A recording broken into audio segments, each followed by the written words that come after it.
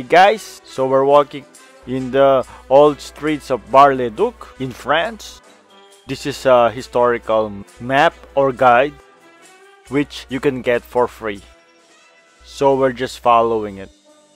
Bar-le-Duc is the capital of the Meuse department in the Grand Est region in the northeastern part of France. Bar-le-Duc was at one time the seat of the county from 1354 the Duchy of Bar. Though probably of ancient origin, the town was unimportant until the 10th century, when it was fortified by Frederick I of Upper Lorraine. Bar was independent duchy from 1354 to 1480, when it was acquired by the Duchy of Lorraine. The Ville which is reached by staircases and steep narrow thoroughfares, is intersected by a long quiet street, bordered by houses of the 15th, 16th, and 17th centuries. In this quarter are the remains of the castles of the Dukes of Bar. It was dismantled in 1670. Its church of Saint Etienne, constructed during the 14th and 15th centuries, contains the cadaver tomb of Rene of Chalon, a skillful carved effigy in white stone of a half-decayed corpse. The lower town contains the official buildings and the churches of Notre Dame, the most ancient in the town, and St. Anthony with 14th century frescoes. Bar-le-Duc served as the assembly point for essential supplies going to the besieged city of Verdun during the Battle of Verdun in 1916. Thousands of trucks carrying men, equipment, and food traveled north around the clock on the road linking Bar-le-Duc to Verdun. The route was given the name Voie Sacrée, which translates to Sacred Way.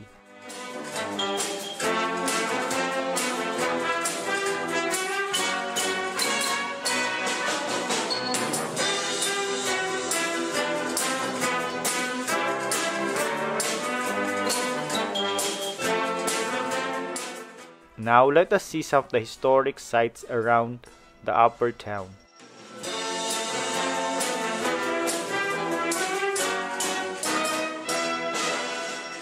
The Saint Etienne Church Built in 1350 to 1630 in a Gothic style and has also some Renaissance feature. Its most important site is the cadaver tomb of Rene of Chalon, a late Gothic period funerary monument. It was completed sometime between 1544 and 1557, and the majority of its construction is attributed to the French sculptor Ligier Richier. In 1782, the other collegiate church in the town, St. Max, became a parish church in doing so, the chapter of St. Max merges with that of St. Pierre and brings with it its treasure, its relics, as well as the remains of the sovereigns of Barrois, and thus giving birth to St. Etienne Church. During the Revolution, the building was mutilated and looted. The statues on the facade, the coat of arms covered the church were removed. Forced with the state of degradation of the building, restoration work was undertaken in the 19th century. To know more about the Church of Saint Etienne, check out the description below for the link.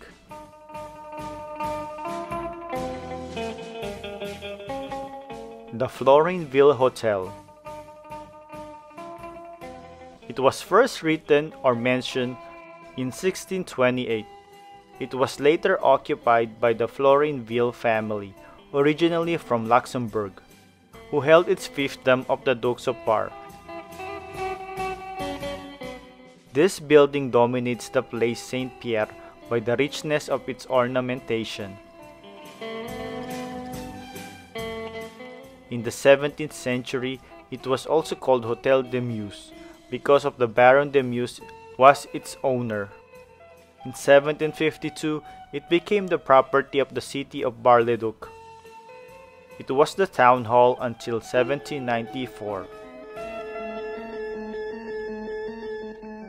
It was here therefore that the city councilors received Princess Marie Antoinette of Austria on May 10, 1770, on her way to Compiègne where she would marry the future King Louis XVI. After housing a military reserve company from 1805 to 1814, the hotel became the seat of the municipal museum. But since 1949, it has housed a Tribunal de Grande Instance, then the Assize Court. The coat of arms of the Florinville family which adorned the facade have been replaced by those of the Kingdom of France and those of the Duchy of Bar surmounted by the Latin motto High Deeds Resound.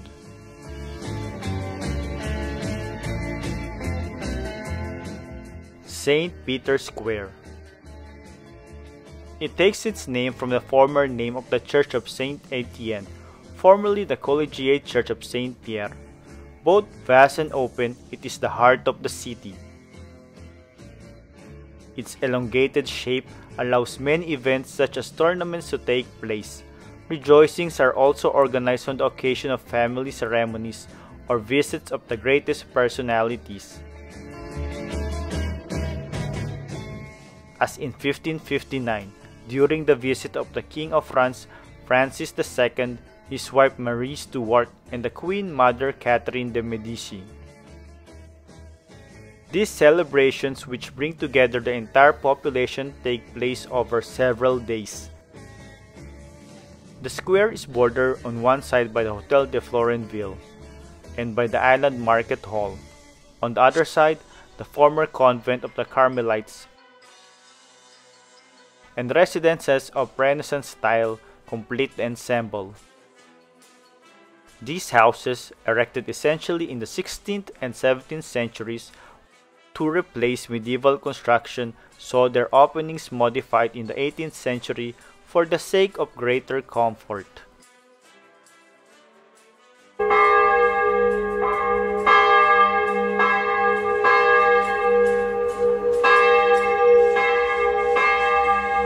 Here she comes.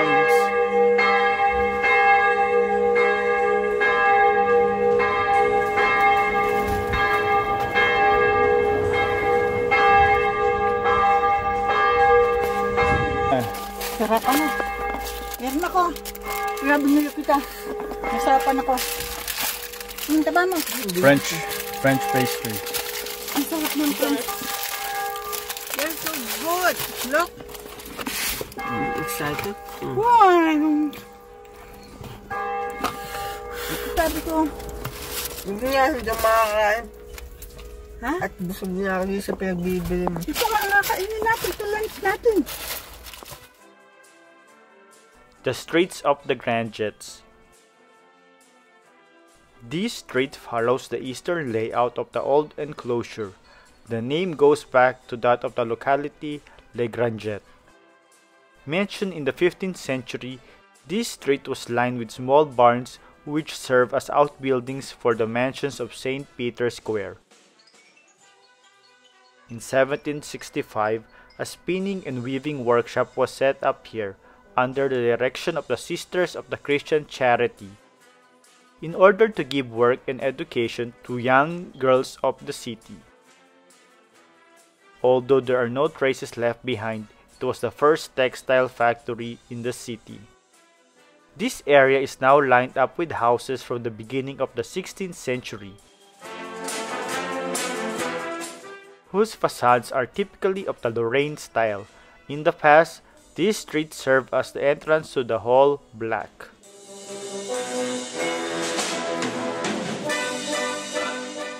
The Street of the Dukes of Bar The main road of the upper town, from the Rue de France, coming from Paris. The Street of the Dukes of Bar is an aristocratic street, reflecting the wealth and grandeur of Barrois. Members of the elite had their homes built around the area during the 16th century. It was renamed the Street of the Dukes of Bar in 1857 in honor of the sovereigns who contributed to its establishment.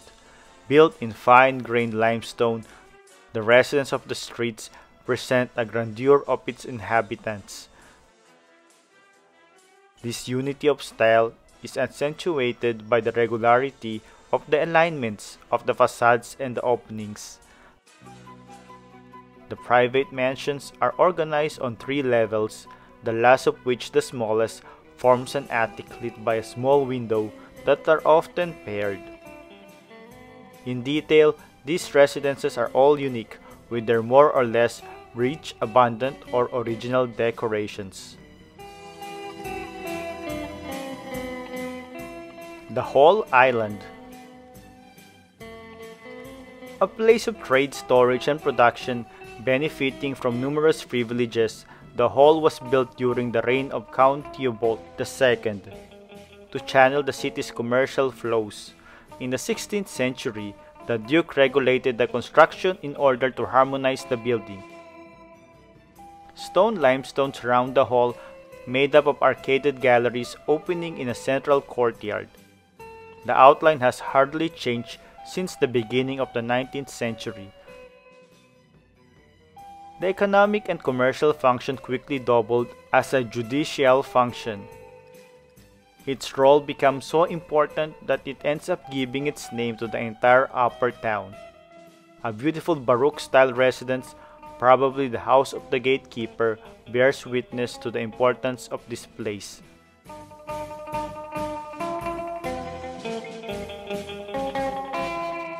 The area consisted of the former butcher's hall, shops, and dwellings, and also an auditorium or courthouse, a gallows for the execution of capital punishment.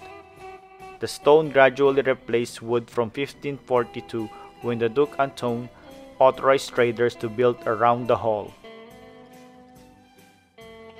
The hall monopolized the town until the development of the lower town began.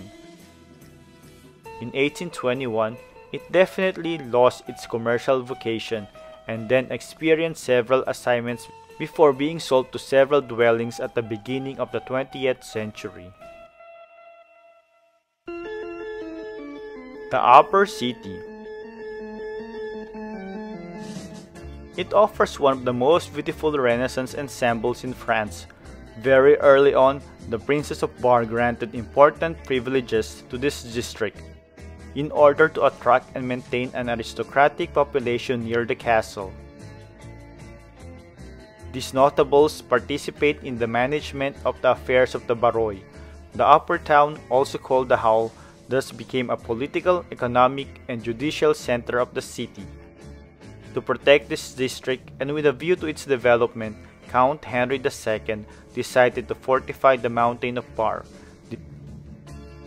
he transferred the commercial activities of the city there. It was from the 15th century that the upper town underwent its greatest transformation. Even if the sovereign no longer resided there regularly, they visit surrounded by a brilliant court. Deprived of the presence of the dukes who preferred to reside in Nancy, the district gradually declined in favor of the lower town, where commerce and the bourgeois developed from the 18th century. With the revolution, all administrative and economic activities migrated to the valley. Fortunately, this decline eventually led the architectural heritage almost completely intact.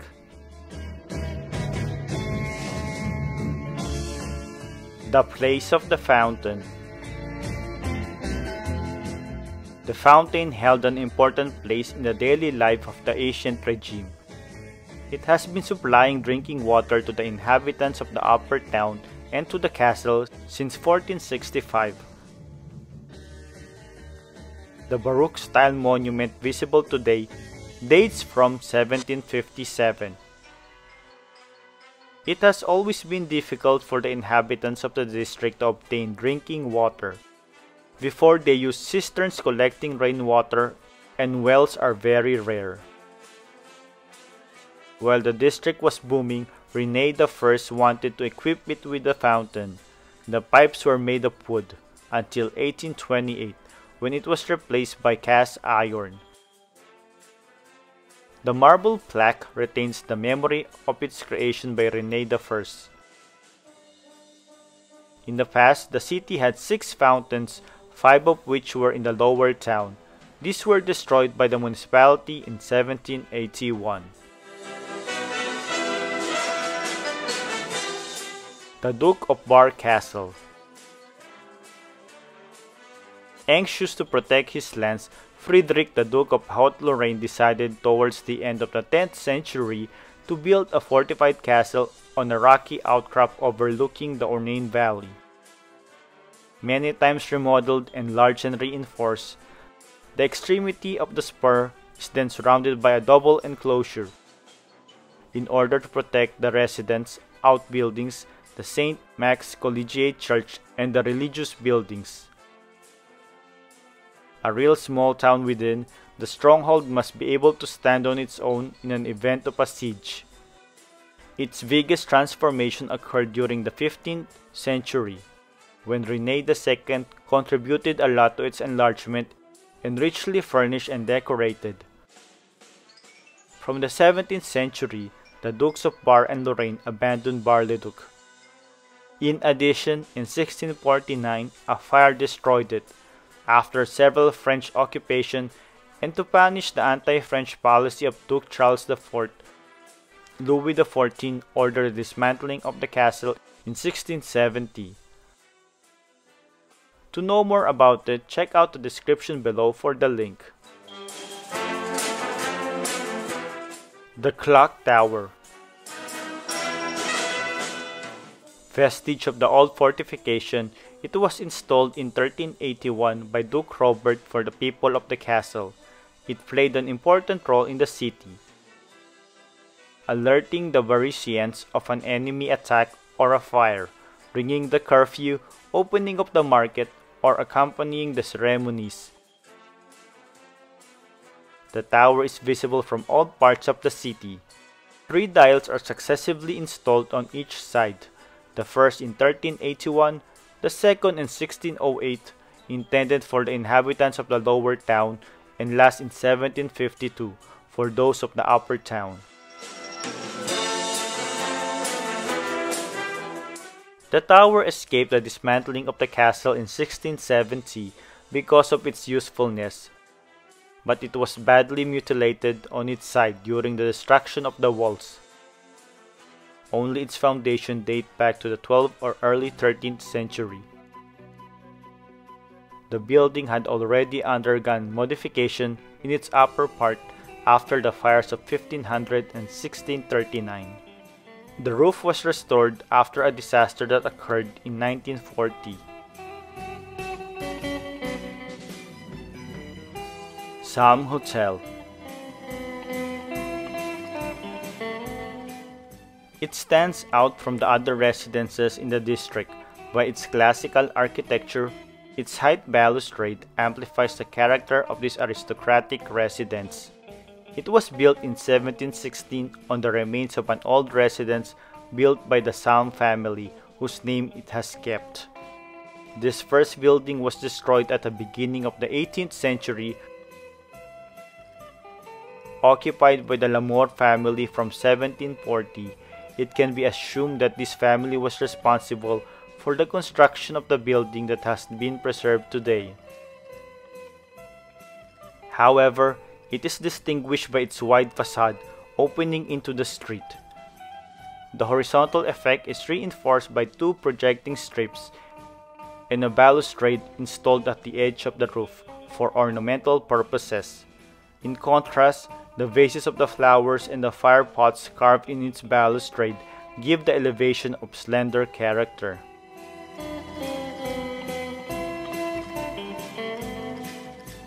The Lamour family, several generations of whom held the position of president of the Duchy's Chamber of Accounts, choose to leave the country during the Revolution. The hotel will have several successive owners in the following centuries, including a boarding school for young girls in the 19th century. It was restored at the beginning of the 21st century and separated into several dwellings.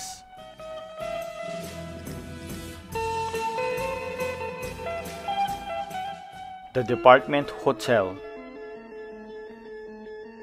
A former normal school for teachers, this imposing building was built outside the old town at the end of the 19th century. In 1883, the construction of the Parisian architect Micole of a building to house a normal school for teachers began on this site. Its classically inspired architecture consists of a long building with four pavilions forming an H plan.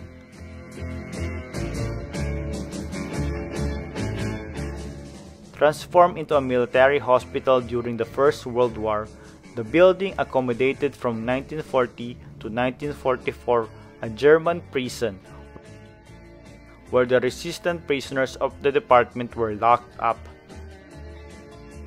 After the construction of a mixed normal school in 1983, it served as an annex school until its closure in 1988. In a political context of decentralization of the missions of the state, the premises evolved to the General Council as the prefecture became cramped. The old school was adapted to a functional and modern place. A wide forecourt opens into the public space and the ground floor is transparent in order to lighten the heavy 19th century facade. Since 1991, it has been classified hotel of the department. The fortifications On the borders of the Kingdom of France and of the Empire, the province remained independent for a long time. The ducal city of Bar-le-Duc was protected by several enclosures in the valley and the stronghold. No less than four levels of protection to keep the inhabitants safe from danger. On the side of the upper town, in order to protect the easiest access to the fortress, the rocky outcrop is barred by four round towers, of which that the clock is one of the last witnesses today.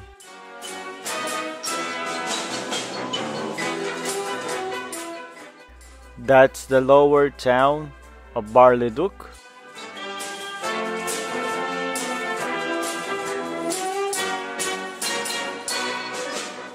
The enclosure of the upper town is distinct from those of the castle.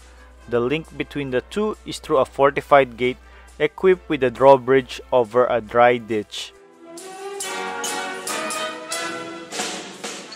From this urban wall, some remains are still visible. Since the Treaty of Bruges in 1301, the Count of Bar has been a vassal of the King of France.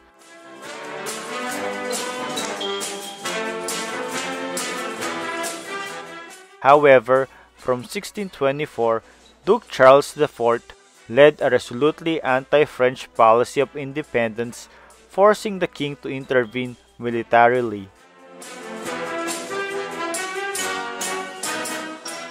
On several occasions, the city was occupied, and in 1670, Louis XIV ordered the dismantling of the city's fortifications, thus ruling out any new threat.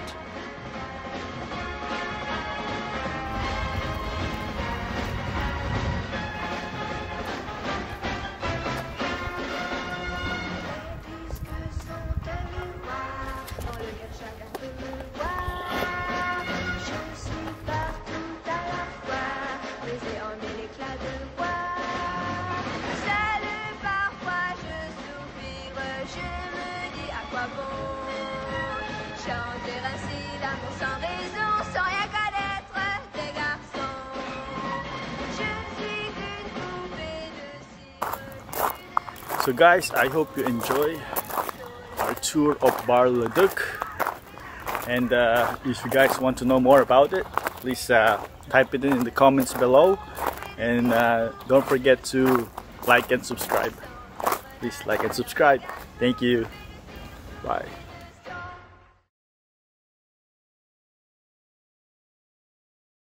So guys, if you like our videos, please subscribe to our channel and feel free to comment. Hit the bell, hit the bell, hit the bell, hit the bell. Come on, guys, hit the bell. For notifications. And don't forget to share. And like!